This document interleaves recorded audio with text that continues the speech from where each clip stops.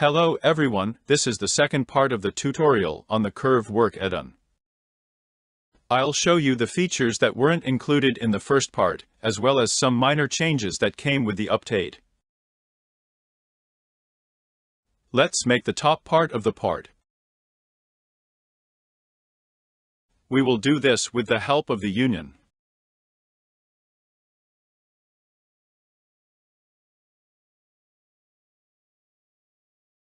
You must remember that you should not have overlapping segments, only their intersections. These forms can be made in other ways, but this will make it easier for me to show a number of functions. As you remember, to make a union of such a large number of objects, they must all intersect with the active object. Now let's select all objects and make a union.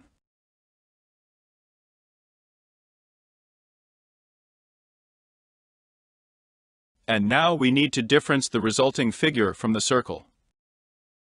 Here we have the necessary form. All extra points you can dissolve either by mass functions or through the X button. The rest can be edited by selecting the manipulator and adjusting by pressing this button.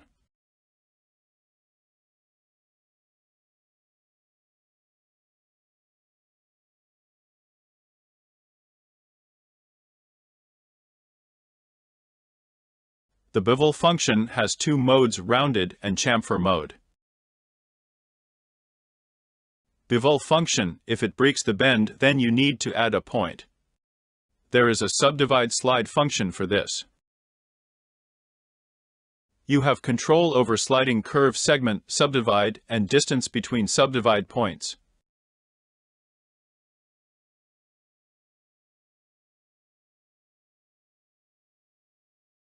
Now the bevel will be correct. You also have a function that is the opposite of the bevel, it straightens the angle between the curved segment. I placed it in two places, closer to the bevel so as not to lose it, and according to the principle of selection, since to use it you need to select two points. Now we will touch on the functions of point types in Blender and my functions of segment types. I have a video on the topic of basic functions of curves. If you don't have enough information, you can also watch it. This point is of the free type, which allows you to bend the manipulators independently of each other, but here you do not need an acute angle, so switch it to the align type. This type creates a bend at the control point in accordance with the manipulators and has no kinks. You divide the manipulators and control the length of the bend with this button.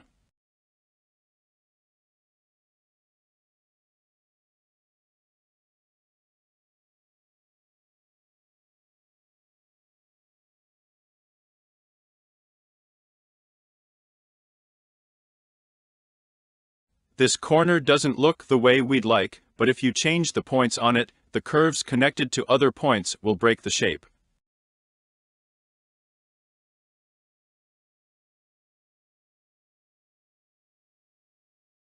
And in order to control not exactly the points, but only the type of bend between them, I created segment types.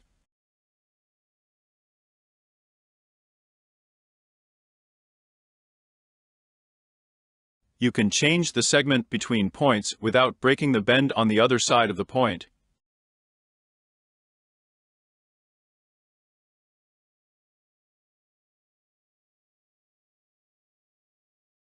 In this way you can create a straight segment, and if you make an aligned segment between the points of the vector, you will get a soft transition between straight segments. If you need a soft bend, and for it to automatically adjust the manipulators in the desired direction, there is an automatic point type, in this case we will use it.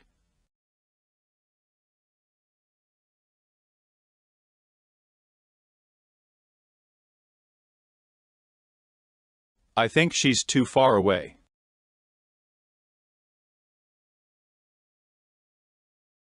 You can make this section smooth, but I will make it using the free segment type.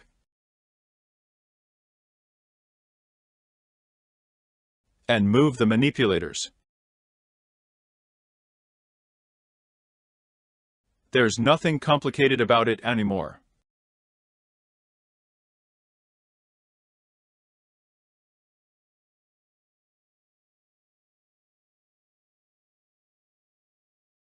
Let's fill it out and add Solidify. I'm using Solidify from my add-on to fill curves. I'll tell you about it a little later. You may notice that there are more divisions where there are more curve points.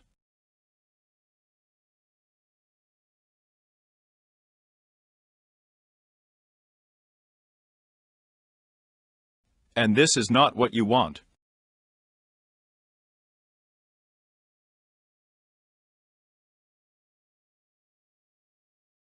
The solution is quite simple. You need to either add points using subdivide slide, you can also shift and distribute as you need, or dissolve the extra points.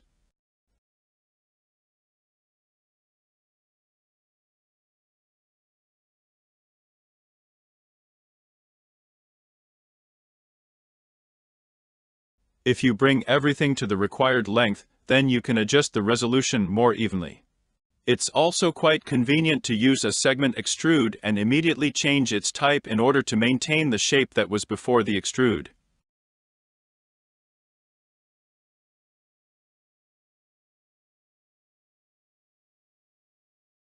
The segment type will allow you to make both straight and curved shapes in such places.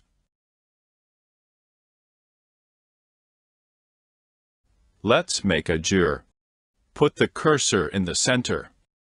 Let's use the profile of the flower to create the teeth. I'll turn off cyclic for now to see the drawing. I won't do it exactly as in the drawing, let's adjust the curve profile a little. I didn't plan it but it turned out well. I'm curious how you would make the internal elements, I'll show you how I do it.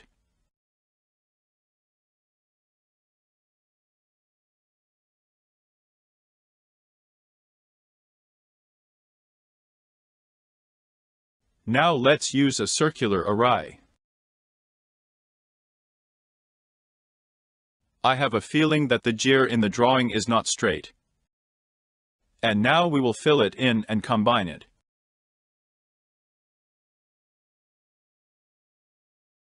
Yes, don't forget if you don't close the circuit you want to be filled. Yes, and don't forget that all functions only work for Bezier spline type. If you have any other ones, change the type.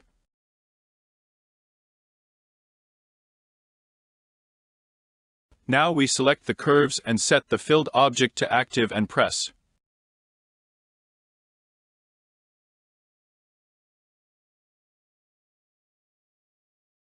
Using the same principle, we make a circle, all this is quite fast.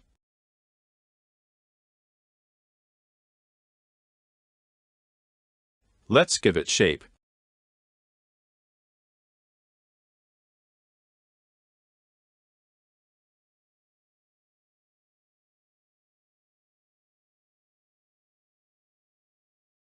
The resolution on the circle is too high reduce it a little.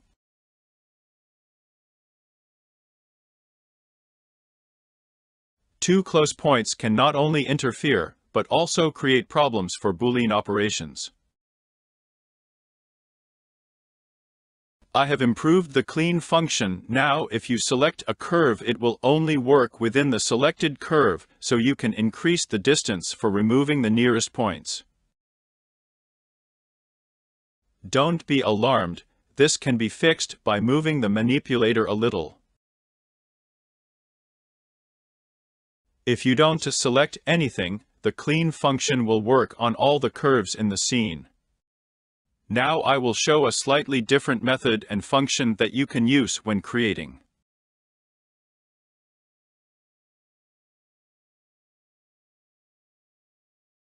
Split function which allows you to break the curve at selected points.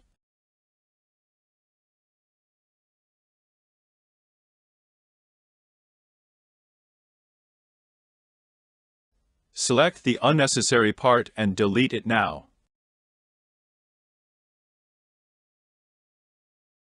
I will close the curves with the connect function.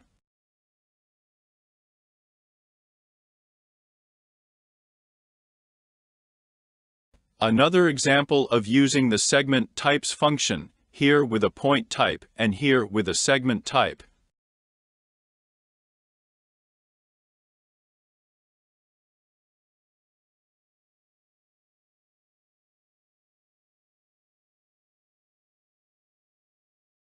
Leveling it out a little.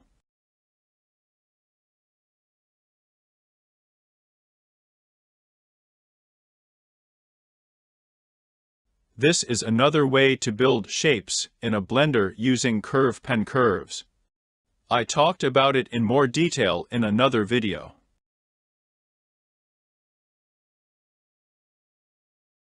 Here everything is also just split point and connecting.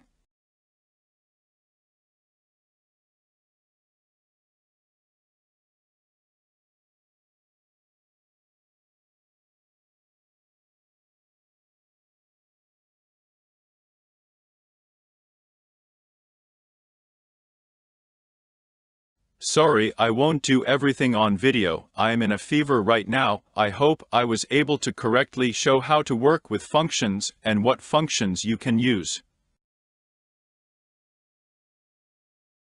In the next video I will try to show how all the add-ins interact with each other, don't miss it, subscribe.